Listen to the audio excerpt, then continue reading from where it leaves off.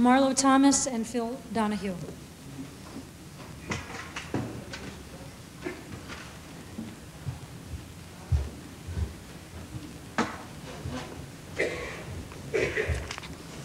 It's uh, so very sweet that we were asked to remember Bella together because she really wanted us to be together. She was quite the romantic. When I was taking my time trying to decide whether or not to take the step of getting married, Bella nagged me terribly about it. She was crazy about Phil. And she used to holler at me, watch, she said, you think you're going to do better than this?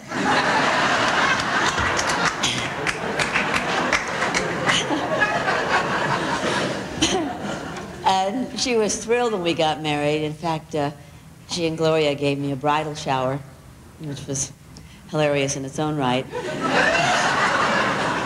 And uh, we'd been married about, I guess, five or six weeks, and I got onto an airplane one day. I didn't know that Bella was on the plane, and this voice came hollering from the back of the plane. Says, when are you going to have a baby? so I yelled back at her. I said, I got married. Make Gloria have the baby.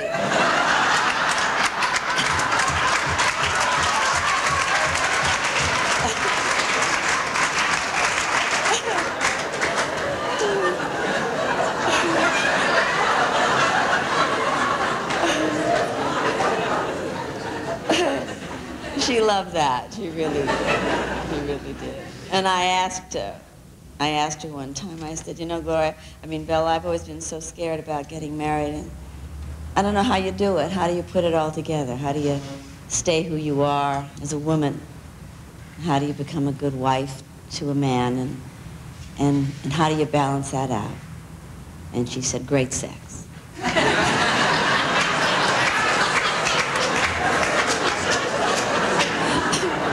so, Bella, I want you to know I've really tried.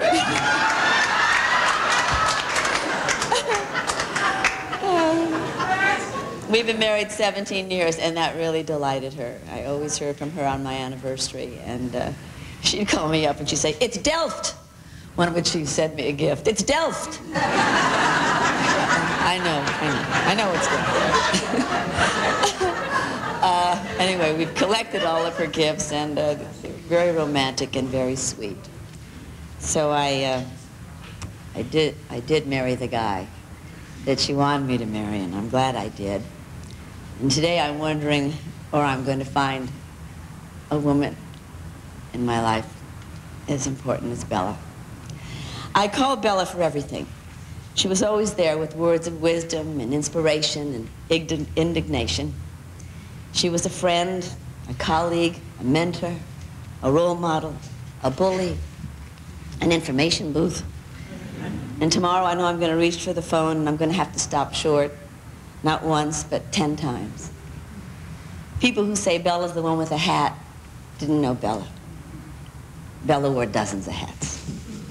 And Bella shielded all of us with her broad brim.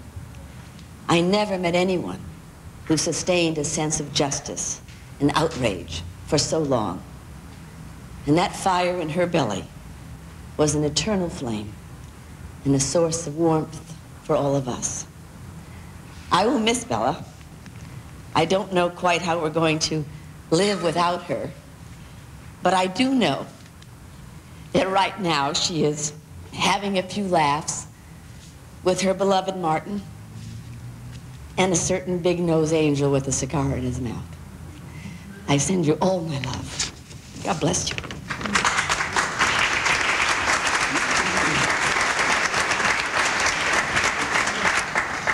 Bella could spot a phony across a crowded room. Nobody had a detector for pomposity and pretense quite as well tuned.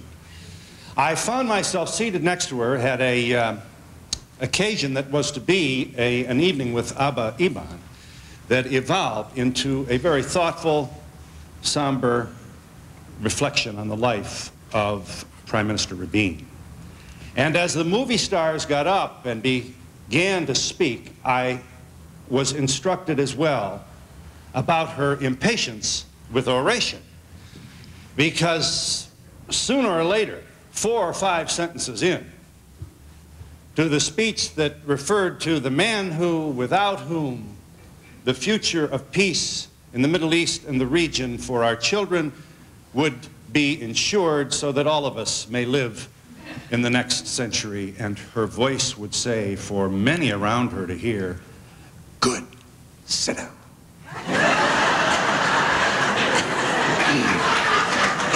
and sure enough, the movie star kept going. And the next speaker would take a breath about five sentences in, and I would hear her say, Good, sit down. So I come here well instructed. And to say very briefly that on her many appearances on my television program, every time I'd walk out there with her, and there would be an audience from the Midwest that would look at her somewhat askance. Younger people in the audience looking for Tom Cruise looked very disappointed to see this woman with a large hat walking onto the Donahue stage. And when the program was reaching its final minutes, every other hand was in the air. And when the program ended, the lines to speak to her grew very, very long. And she waited to speak to the questions and the needs of everyone who personally petitioned her.